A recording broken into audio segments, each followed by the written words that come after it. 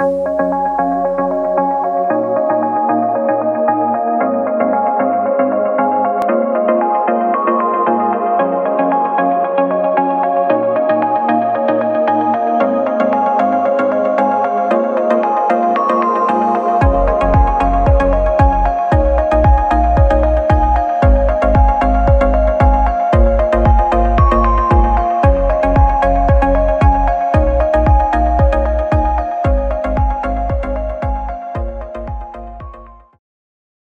Welcome everyone to this week in the Health Corner.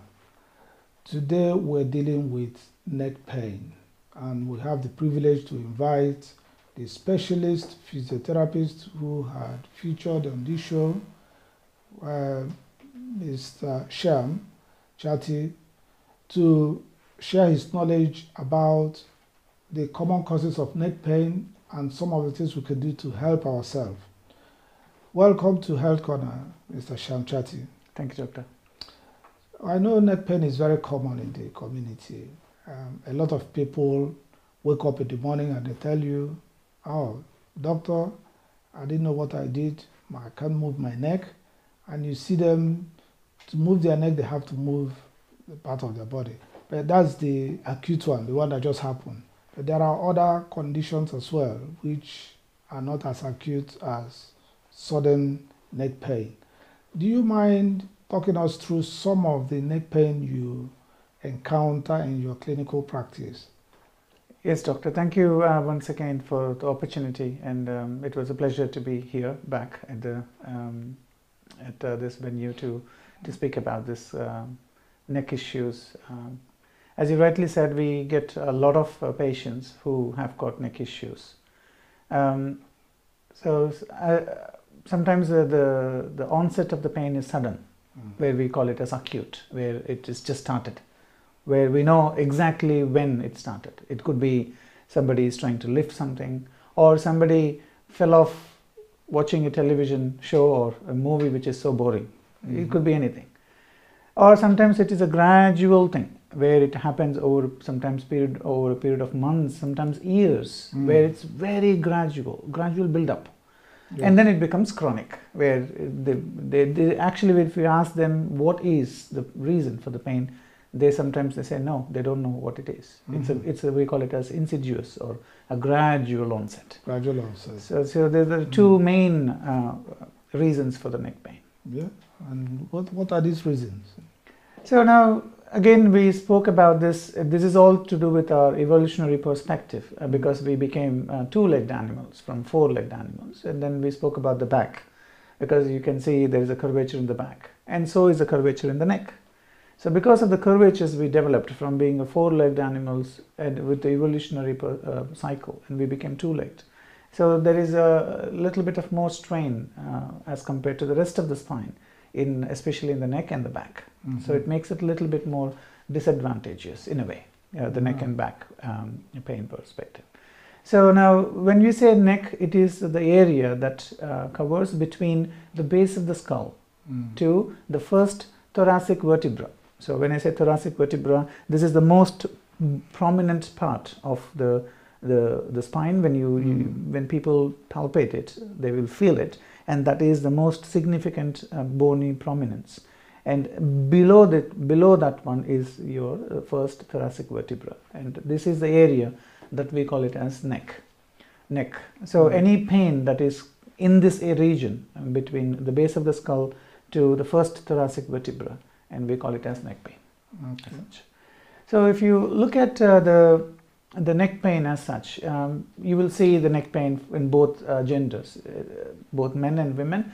But uh, the research and the statistics say that women struggle with neck pain a little bit more, neck and shoulder pain, a little bit more than men. So it's more common. Yes, it is. Women. Yes, it is more common, and the main reasons why the women get tend to get more issues with the neck and shoulders, because um, um, because they generally carry a bag and it's more on one side they, they don't usually usually men tend to carry a backpack or sometimes they don't have mm-hmm. any bag whatsoever uh, whereas women it's more of asymmetrical there is uh, asymmetry with the bag sometimes the bag can be really heavy um, then that causes a lot of uh, strain on that particular side, and that could lead into the neck pain uh, in due course and eventually. Okay.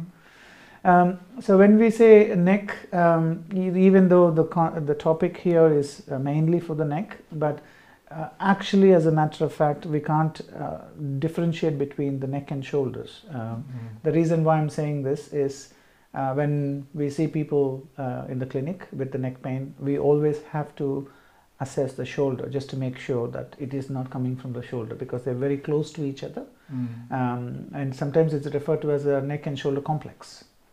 Um, so we can't just differentiate between just the neck pain or shoulder pain. It's Mm. actually a combination of both. So, and uh, this is uh, usually because uh, of uh, the, the rhythm that your shoulder and the neck com- uh, plays with. And when you do a certain movement, there is an uh, involvement of uh, the whole of the spine, but mainly the neck and shoulders. Mm. That, that's why they're very close to, uh, really very close to each other's. Um, so now, when you look at all the musculoskeletal conditions, Mm.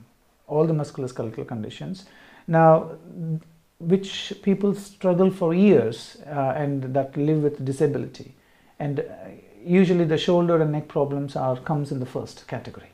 Right. Uh, so any muscular condi- uh, skeletal conditions that leads to disability and in that category your neck and shoulder pain is definitely the, the foremost one the one Right. where you get lots of people affecting with uh, the neck and shoulders So they are more common uh, than the back pain. yes in a way Mhm. because uh, we will go to why it is like that because Yes. when you look at the neck um, so we spoke about this is a combination of seven uh, bones Mhm. one stacked on, on top of each other it's not straight like this so there is a curvature Mm. we call it as lordosis is a curvature so because of this neck and you see as compared to the back uh, you've got rel- relatively uh, larger group of muscles supporting the back Mm.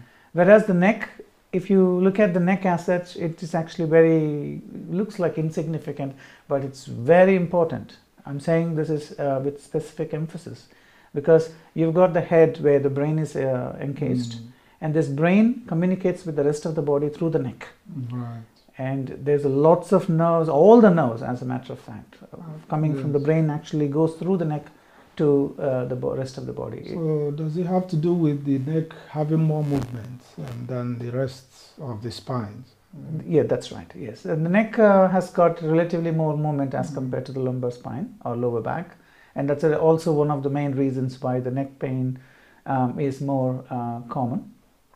And uh, so if you look at the neck itself it is purely controlled by or uh, stabilized by the muscles surrounding it so because it's very closely works with the shoulder as well so any kind of uh, muscle imbalance Mm. if they happen it can easily happen in your neck and shoulder area Mm, right. so now with uh, the main causes again uh, we spoke about the two uh, reasons why the pain would start which is acute which is sudden Mhm. onset and chronic which is happens over a period of time so the causes could be uh, again lots of causes one is postural Mm. where how a person um, sits uh, in front of the computer or in, in the office, how long they actually spend in that particular position, and that will make uh, the neck uh, predisposed to a lot of strain, and that Mm. could easily happen in the neck generally. Mm. So when we say neck, not just neck symptoms of neck pain when we we have got stiffness or um, when you have got pain when you move your neck. Most often people say there will be some clicking that Mm. happens when they move the neck. There will be uh, a significant click that happens when they move the neck. So that clicking, the viewers will be wondering, what is it that causes the clicking? So this, um, if you look at uh, the anatomical design of Mm. uh, how the human mechanism is, is a fabulous, fantastic design as such. So now we spoke about seven bones stacked on top of each other, and these bones are connected with each other with two joints on Mm. either side. Usually, in the middle of the spine, you've got the bones, and you've got on either sides, you've got the joints. Mm. So these joints needs to click.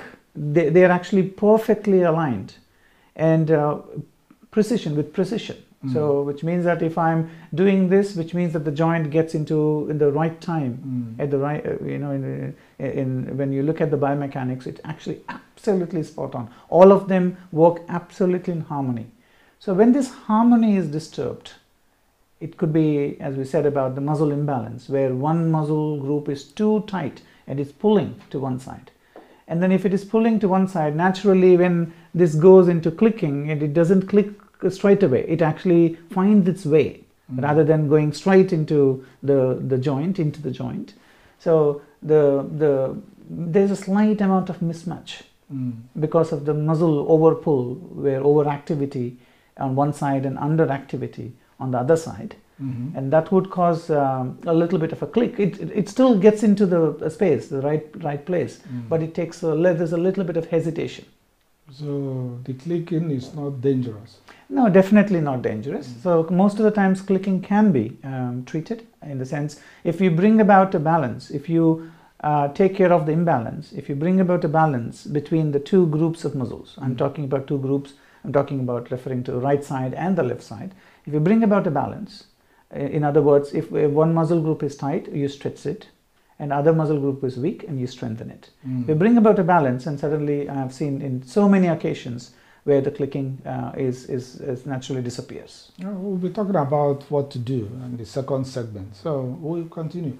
So now we're talking about the insidious neck pain that starts gradually over months, years, and then you know the sudden one that people wake up with. And so, what is the likely cause of the one that people wake up with suddenly and they can't move their neck and they are very worried? Uh, doctor, it's mainly if you look at lots of reasons, but the main reason is the way the people sleep. Mm. And uh, there's a lot of research uh, in terms of how to sleep, how to look after the neck. Let's put a simple example if I've uh, slept like in a, on a sofa, like on a certain day, or if I um, slept uh, uh, not in my usual place, in somebody else's place, or something like that. So we got to take into consideration of small things.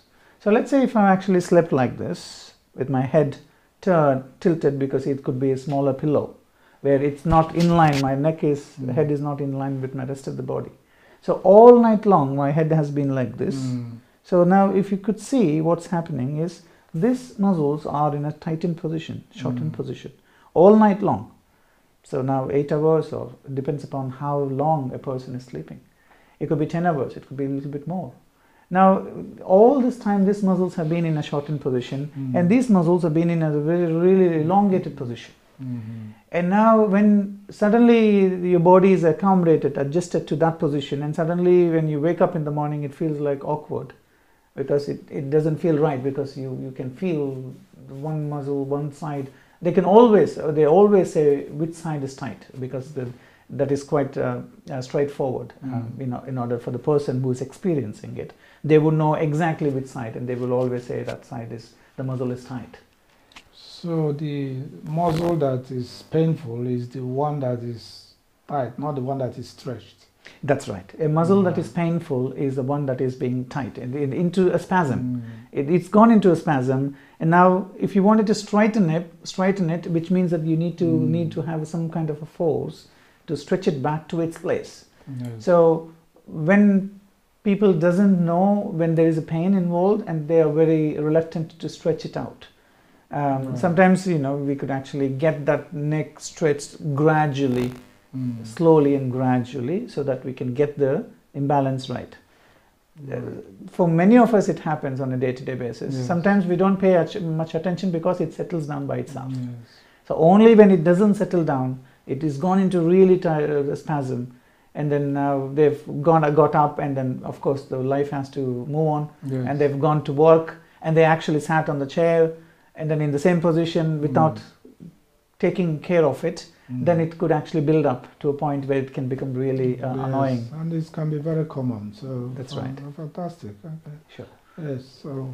Yeah. So now the relevance of this neck pain, if you see, because of uh, the lockdown as well, and many people are working from home, so it's uh, for some of them it's actually okay to work from home because mm. the same work can be done from home. But if you look at the the disadvantage of this is now, is uh, the workstation is really set up for their purpose, for their mm. needs or not? Sometimes you, I, I, can see my physio colleagues as well. They actually sit down and uh, put uh, the laptop on their lap or somewhere else, and it's not been looked at properly, Mm. system, you know, in a, in a, in a scientific way. So when I say scientific way, you, you know, all this, your posture needs to be a certain level uh, for your neck and your back and the whole spine to be at ease. If it is at ease, Mm. then we don't have any issues. We don't have any stress developing. But if your body is not at ease, if your neck, uh, your spine is not at ease, or your neck is not at ease, then it will result into some kind of a muscle imbalances, either direct, immediately or over a period of time. Mm. Um, and uh, sometimes it is uh, the poor posture of uh, the, the person actually Mhm. contributes to the neck pain. Mm. So when I say this, uh, what I mean is, um, so we all know that your whole spine needs to be straight.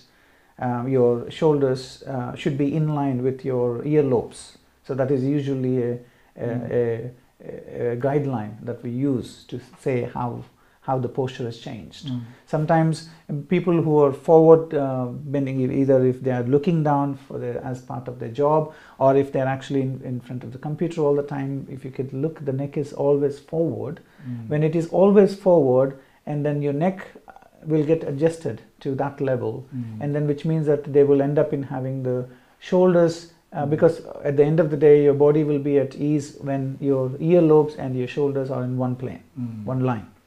So because your head is gone forward, then mm, as a compensation, they will end up in having rounded shoulders. Mm. So rounded shoulders means you've got tightness in the muscles in the front of your chest, and you've got elongated and weak muscles at the back. So this is a cycle, a vicious cycle that keeps Mm. going on and on. Mm. So we need to address that uh, as soon as possible to prevent it becoming a chronic, a long-term problem. And uh, we spoke about ergonomics, uh, which is um, uh, how uh, how much of energy that is required to do your work. If you could minimize the amount of energy that you could that you're using to do the same amount of work, and that becomes ergonomics. Ergonomics is about the chair, how the chair is placed, where the keyboard is, how how far, how where the the screen is kept, how your neck is positioned when you're doing it, and how your fingers and hands are positioned.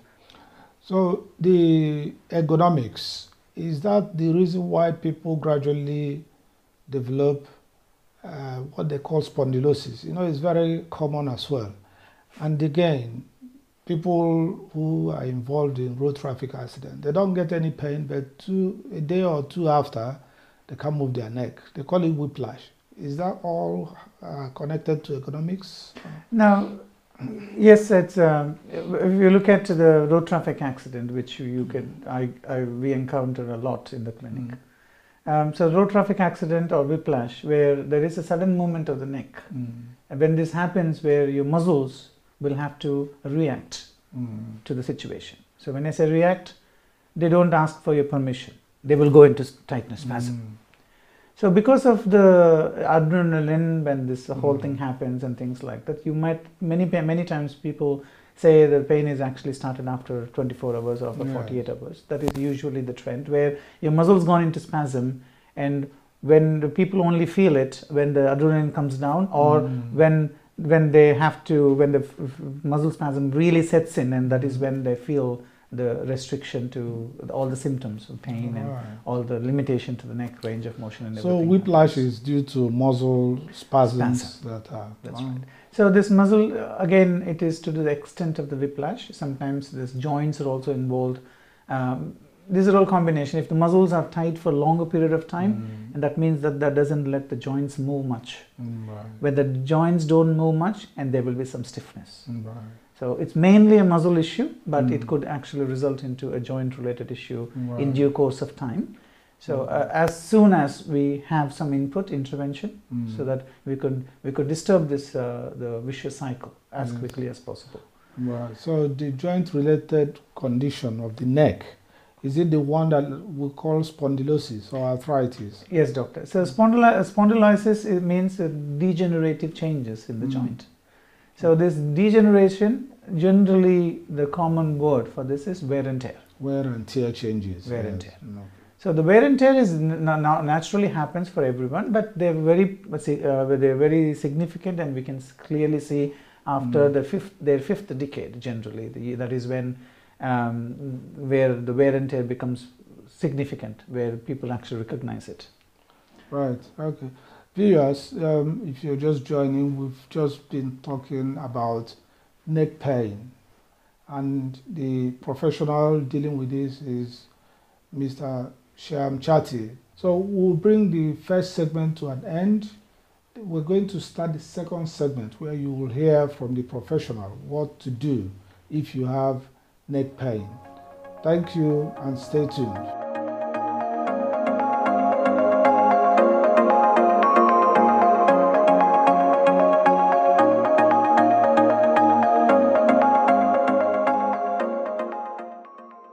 Welcome back to the second segment of today's Health Corner. We've been talking about causes of neck pain, and we have the professional, Mr. Shyam Chatti, who has been explaining the different types of neck pain. If you're just joining us, this second segment is going to talk about the things we can do at home by ourselves or when to look for support or when to seek uh, the health professional to help us out if you have these symptoms. Mr. Chatti, thank you again for giving, throwing very good light on the different types of neck pain. And now I know the audience will be listening. What is it that we should do if you just wake up in the morning and you can't move your neck because it hurts? Is there anything we could do with our bed or with our pillows? Now you've talked about the ears and the shoulder being on the same plane. There are quite a few things that we do wrong that gives us neck pain. What would be your advice to our viewers? Sure. So the first thing uh, is uh, we have to understand where the, the symptom, where the where the discomfort come, is coming from. So we have seen because this muscle has been in the same contracted position all night long. Mm. So when what this means is your muscle fibers have slid into each other mm. so much more than what it should be. So that it always leaves less gap between the muscle fibers where all the blood vessels also pass through when the blood vessels have got less space and they mm. get suffocated and which means the same amount of blood is not flowing through so there is an element of blood circulation issue there where mm. your muscles are not getting the blood circulation mm. they're tight and they're not getting blood circulation hmm. and now we know this uh, fact that uh, the pain is caused by chemicals if the chemicals have been accumulated in that muscle and without increasing the blood circulation the pain is not going to go that hmm. quickly so in other words, if we, we can do something to improve the blood circulation, and that's the first thing that we need to do. Mm-hmm. Many times, even before they even get to a doctor or a physio, they tend to do, they will actually rub it themselves. And that's a very good thing that we could do. That's massage. Then. Massage, yes. Mm. So when you do the massage, what you're trying to do is to try to move the tight muscle fibers away from each other. Mm. And of course, you're actually converting some of the mechanical energy to improve the blood circulation to the muscle. So that is something that we could do immediately. That is that is not a, a big. Uh, it doesn't cause any complications mm-hmm. for people. Or we could actually also give a sustained source of the heat. In other words, it could be um, a, a, hot water bottle, or it could be uh, nowadays you have got the wheat bag, uh, which mm. people put in the microwave and take it and put it around the neck and shoulders mm. um, and that will really help. The water bottle can't stay, so which means that you have to either hold it or mm. keep it that way. But uh, the wheat bag is long, so it actually covers nicely. It wraps around the neck and shoulders quite nicely. Some viewers asked, um, what about cold compress? Does uh, that help in this case? Now, the cold compression is actually a, a line of treatment for the joint. Mm. So if the joint, if it's not the, because they woke up because a muscle gone tight. So if the muscle is gone tight, the line mm. of treatment would be a better uh, choice would be the heat. Mm. Um, that increases the blood circulation. That is solving the problem then and there. But if the joint is inflamed, mm. let's say um, somebody has got arthritis uh, or spondylitis, mm. where this is not a muscle issue, this is a hmm. joint issue, hmm. where your joint is actually struggling because of the wear and tear, hmm. because of the, the little cushion in the joint. is not working or is it actually worn out. Right. So when the joint is inflamed or irritate, uh, irritable, it's quite Mm. irritable. It's it's not happy. Mm. So in that case, usually you apply a cold compression that will work really really well. Mm. So now viewers will be wondering, how do I decide the heat or cold? Mhm. So generally, when the joint is inflamed, or there is inflammation changes, or when there is irritable, it's quite irritable, uh, where it's not happy, then usually if you feel the temperature of where, how the joint is Mm. as compared to the other side, you could actually see a difference with the temperature, where Mm. the, the raised temperature. Mm. When the raised temperature is there, naturally we wanted to reduce the temperature. And that is when we could naturally use uh, the cold compression so that the heightened response would actually be set, you're settling down that response. Whereas if it is a muscle related issue where the muscle Mm. feels like this is actually really tight muscle, Mm. then uh, the use of the heat would definitely work very well in, in our favor. Right. So now I wanted to also bring something to notice to the viewers. Now, if you apply the heat, Mm. your muscles are a little bit relaxed. But once effective heat is gone, the muscle, because of the muscle memory, it will go back to square one. Right. So by applying the heat, the, the heat works as a window of opportunity Mm. for us to be able to move the joint fully. Mhm. So you put the heat, it's like heat works as a preparation for us to be able to do some exercises. The exercises, just normal stretching. So when you say stretching without making it complicated, if you could move your neck without moving the rest of the body to full range in Mm. all planes, so that is one plane and that's a second plane, and looking up and looking down is third plane. If you could do all the full movements in all the ind- individual movements in all the three planes, if, if after the heat, if you could do that, Mm. and you're not only increasing the blood circulation, making the muscle happy, so that your muscle is working for you, not against you. Mhm. Right. So you know, some people uh, with neck pain um, buy this neck brace. Does that help in any way? Now, the neck, uh, we the, the whole purpose is to facilitate movement. Mm. By applying a collar, yes, it is indicated on a certain conditions, specific conditions. Mm. It is indicated. But when there is a neck instability, that it will be um, assessed by a professional. Mm. When there is a neck instability, immobilizing the neck with a neck collar would, would work really very well. That's fine. Mm. But we don't want to, for normal common neck issues, we don't want to put a collar. Mm. Or, in other words, without proper f- professional advice, we definitely don't want to put a collar because it actually uh, stops the pain. Mm. It stops the pain, but it also makes the joint, restricts the joint. Then we have to deal with that problem later on. Right. Okay. Because it gives them psychological support initially, but it's actually not um, advisable to That's right. wear It- the neck collar. That's right, doctor. If it is indicated, if there is an instability and it's been assessed by the uh, physiotherapist, Mm. then yes, it is advisable, then that's fine. So what about sleeping? I mean, mattress or pillows, does that help in any way? Yes, doctor, definitely. That's a very good point. Um, mattresses, they have got a lifespan. Usually, the general recommendation, or from the research point of view as well, usually eight years is the general lifespan of the mattress, depending upon the mattress, of course. Mm. Okay. Beyond the eight years, it actually loses its ability to support us. Mm. So generally, on a, on a general uh, rule, after eight years, we should think about uh, changing, the Changing our mattress. mattresses. So we will talk about the pillows because you did mention about the pillow.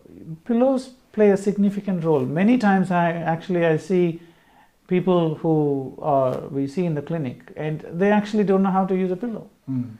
So now I will talk about a few things, simple things here, um, and also one more point: how to sleep, so that that will uh, contribute to how to look after your neck in a way. Mhm. So when it comes to pillows, so the way that we because you need to choose the right pillow for you Mhm. in terms of thickness. Some Mm. some people say, "Oh, should I wear take one pillow or two pillow?" It's not about that. It's about this. If I stand against the wall with my shoulder to the wall, and if I look straight, if I introduce a pillow, and that should touch the pillow should touch my ear, so Mm. that means that that is the right pillow for me. Mhm. If I introduce a pillow when I'm standing like this with my shoulder against the wall, Mhm. with my neck straight, if I Mm. introduce a pillow, if there's a gap between the pillow and my ear, that's not a good good pillow for me we should not not use it which means that if it is if there is a gap which means that my neck has to be in that position Mm. and we spoke about this in the first say, uh, um, uh, part of the, this conversation Mm. that we don't want neck to be in that position either forward position or backward position or in the sideward position throughout the night so we wanted to absolutely make sure that the gap whatever the gap between Mm. the shoulder and the neck and the head the side of the head so this pillow is meant to cover the gap Mm. so that your head feels supported in the neutral position. So that is something that viewers find it really useful. Now we we also wanted to emphasize. I, I wanted to emphasize the fact that the pillow, ideally when it is used, it should cover the neck and the shoulders. Mhm. So in other words, the top of the pillow should be at the top of the head, and it should come down Mm. to cover the neck and shoulders. Mhm. And I, I also see people tend to put the head in the middle of the pillow. Mm. Ideally, we should keep it to the to one end and then use the rest of the pillow to support the arm to keep the Mm. arm rested. So it's always better to keep uh, the head to one end of the pillow and use the rest of the pillow to support the arm in that way. Yeah. And um, many times people, sometimes people sleep on their tummy, um, and there's a lot of research says to say that that is not a good practice to do. So one simple thing is when I'm sleeping on my tummy, I have to keep my neck out of the way. So again, this means that these muscles are getting stretched and that muscles are being tight Mm. all night long. And of course, there is a, there is a lot of constant pressure uh, on the organs Mhm. uh, that doesn't help in the long run. And um, sometimes people tend to do this. I've seen that so many times. Sometimes people put their hand under their head like Mm. this. And uh, the research uh, clearly proving that this particular position, if it is stayed all night long, that could predispose somebody to have a frozen shoulder. Because Mm. what happens is because you're keeping that shoulder in that position, all the muscles needs to be working and they're getting tighter to protect the joint. Mm. And when that becomes overprotective, and then we call it as a frozen shoulder, the medical term for this is uh, adhesive capsulitis, Mm. where it becomes really, all the capsule and everything becomes really tight, Right. and that could predispose to further uh, uh, shoulder related Yeah, issues. Right. I know we're going to talk about shoulder in the next show. Right. Um, what about uh, the neck spondylosis? Um, uh, we have a lot of neck arthritis. Obviously, you mentioned that it usually starts from 50. Can people who are younger than 50 still have that It can ha- it can definitely happen. Um, I have seen in the clinic some um, people who play rugby because it's an impact sport and they would have actually strained their. There's a lot of stress on the neck. So wherever there is an injury, there Mm. will be wear and tear. Mm. Wherever there is an injury, Mm. if somebody played sport and then they hurt their neck, generally wear and tear, Mm. And then they will the the the wear and tear happens much more quickly. Right. Um, so now the, the question is what, what we need to do when Mm. you have got the arthritis related neck. Mm. What should we do? Yes. So now we one thing we said about improving the blood circulation by using the heat that Mm. can't go wrong definitely. Mm. Yes, if uh, the doctor, um, the GP has prescribed their medication, so they could take that definitely Mhm. because they will work quite very well together. As uh, people are getting used to the physical agents, then naturally the need to take painkillers will naturally come down. Mm. So that's something. And now this wear and tear also happens. Let's say if the joint has got that much of movement, Mhm. if I'm not moving to full range, I'm only moving to that range. Mhm. So whatever the joint space that is not being used becomes unusable Mhm. and we simply call it as arthritis. So in other words, whatever the joint range we have, we should make sure that we are able to move the joint to the full range possible. Okay. Now, if if so, if someone comes down with arthritis because he hasn't been moving the joints in full range, is there any neck exercises to do to bring the joint back to full range? Yes, doctor. So Mm. now like every everything else you need preparation. Even Mm. exercises before you do the exercises you need the right preparation. Mhm. The preparation is generally by using the heat, um, applying the hot water bottle, or generally take bath or shower, and then you come within 10 minutes if they time their exercises, and they will get maximum benefit out of those exercises. So the exercises, the simple exercises Mm. are very simple and we wanted to make sure that the neck is if uh, let's say if i've got a limitation beyond that range on one side so i wanted to make sure the first thing that we wanted to make sure that there is no compensation Mm. in other words the other joints are not helping this joint Mm.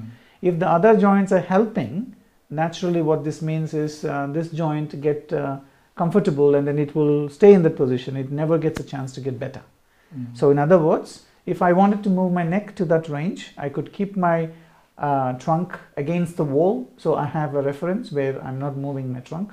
I could uh, stand with my back to the wall and now i could move my neck. If i'm moving till till that moment and beyond that it is a little bit more tighter or it's not possible i could gently uh, use my other hand to do a gentle pressure on that area so that to get a little bit of more movement possible. Mm.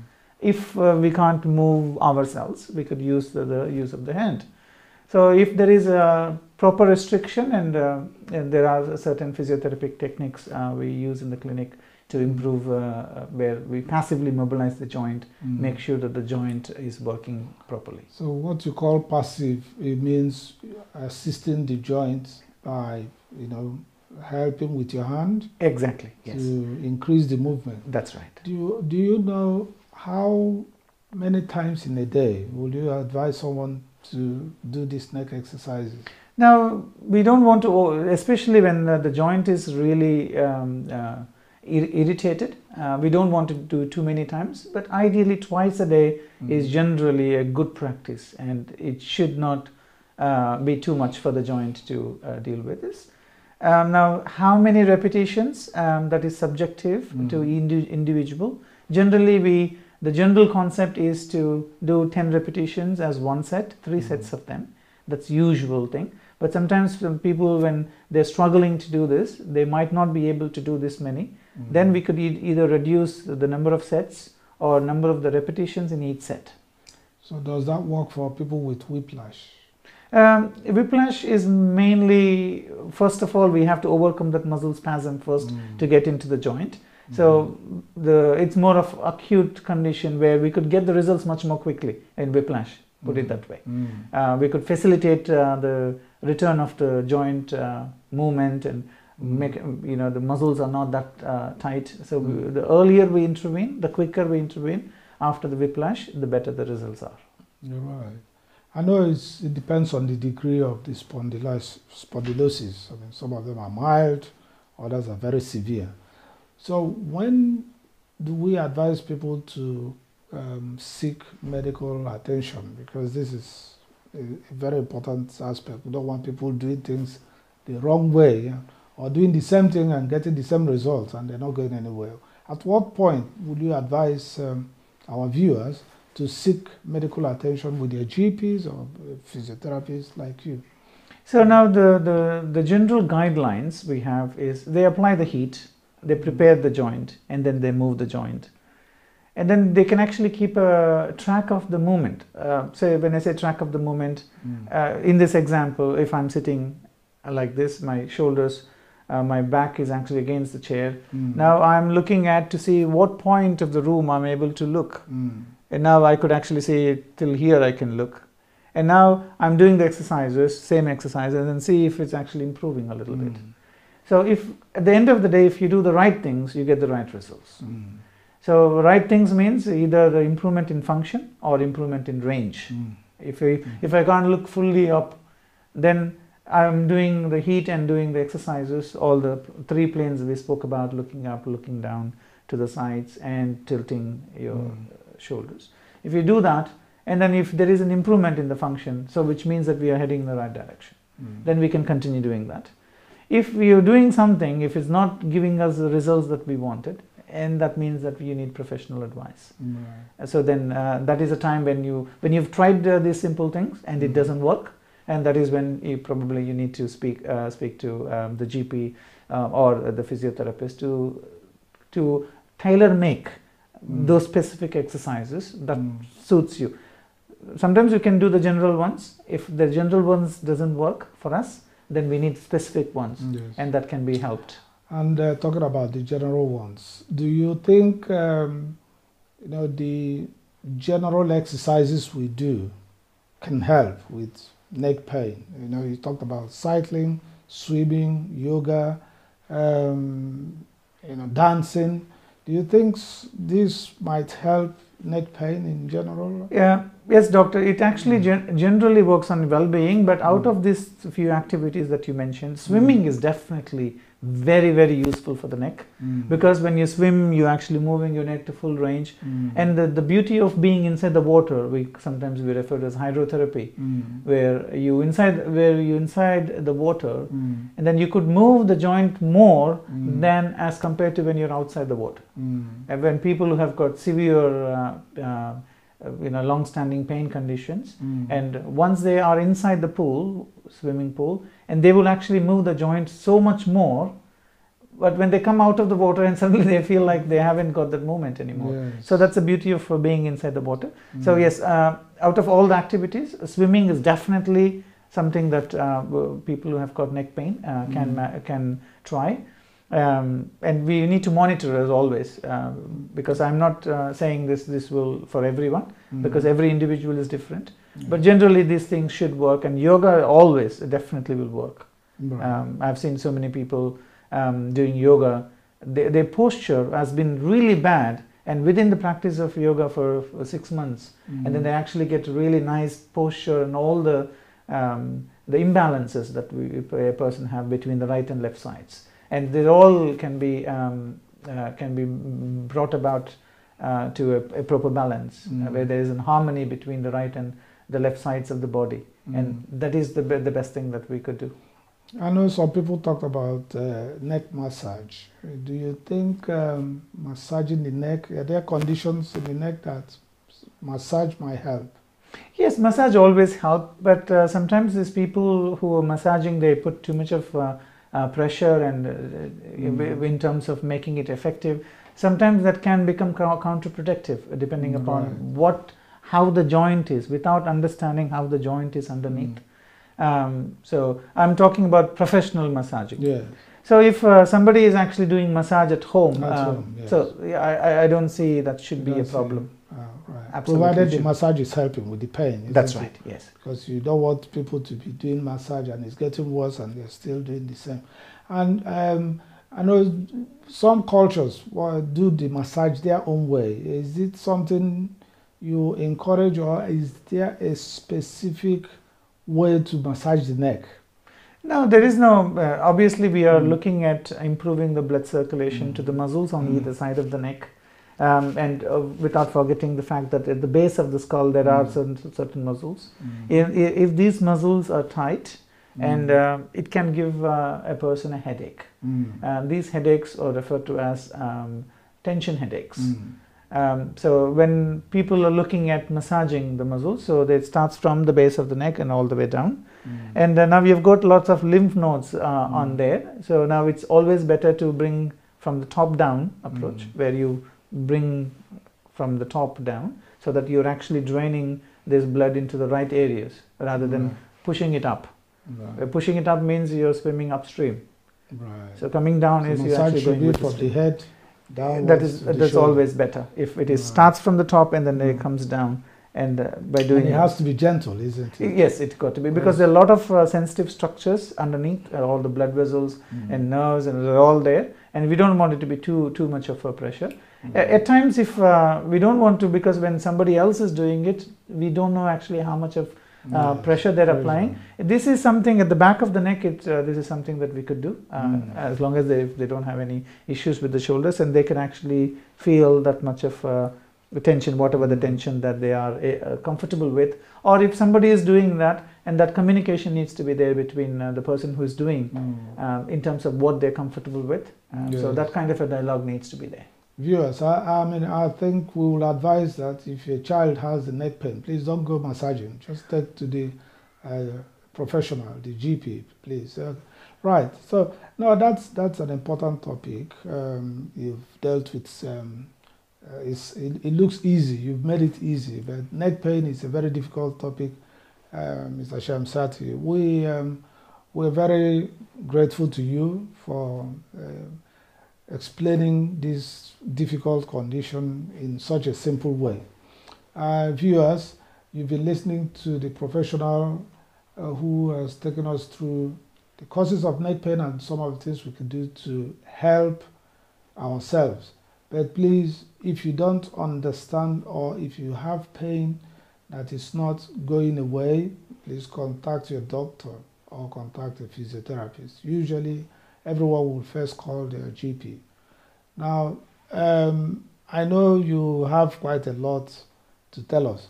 I'm hoping that in the next uh, show, in the next session, we're going to talk about uh, shoulder pain. Uh, viewers, the next session with uh, this the health professional will be on shoulder pain. He also has a lot of message to give us.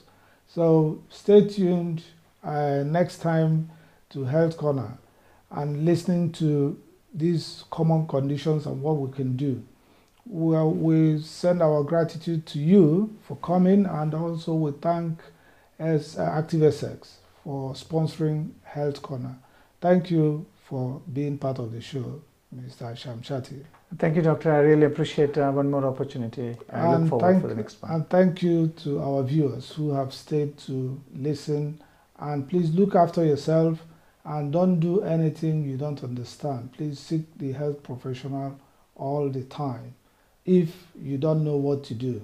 Thank you very much for being part of today's show. Thank you.